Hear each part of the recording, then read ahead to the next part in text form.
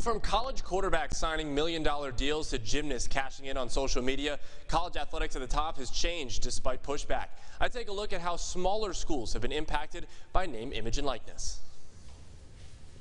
At the group of five level, um, we're, we're, we're still tr- we're trying to compete in, in every aspect. Our first approach to this thing was number one, we're not going to put our heads in the sand and go, well, we can't compete at that at this level. For schools like Louisiana Tech and others in the group of five ranks and below, name, image, and likeness, or NIL, is something that many didn't take into consideration when the law allowing student athletes to make money on themselves was passed in 2021.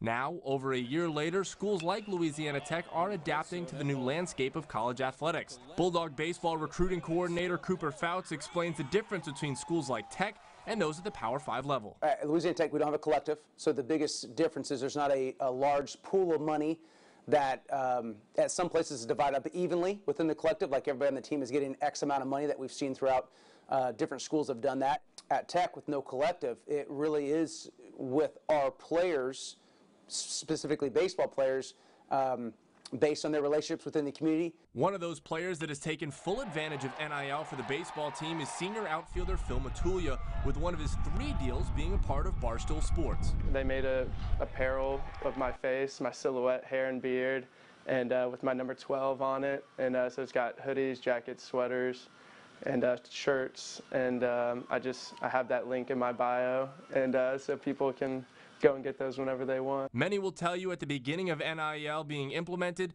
things felt a bit chaotic. But as Dr. Wood explains, the school stepped in and streamlined the process for their student athletes. As soon as July 1st came around, it was, uh, hey, my DMs are open, right? And uh, and now, thankfully, we have a better platform for that, right? And because you know, it, with our Opendorse marketplace that we have, it at least allows uh, our brands and local partners to to say, hey, what what would it take to have somebody do a birthday shout out, do make an appearance at my store? And according to Dr. Wood, that marketplace has allowed for 15 of the 16 sports on campus to have at least one student athlete with an NIL deal, averaging about $2,000 per transaction.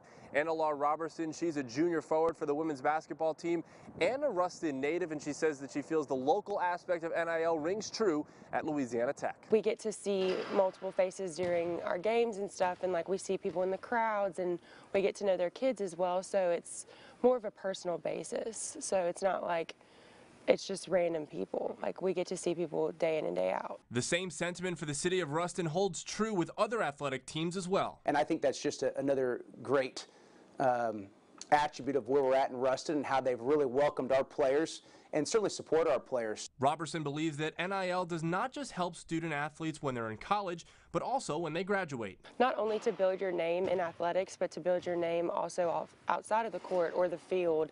And it allows us to make money for ourselves, or it allows us to have these brand deals with other people, and that we can also keep outside of athletics. But at the end of the day, while being able to make money on yourself is a perk of college athletics now, the main goal for everyone has stayed the same. We've been really focused on like winning here lately. Reporting at Louisiana Tech for local news that matters, I'm Stephen Pappas.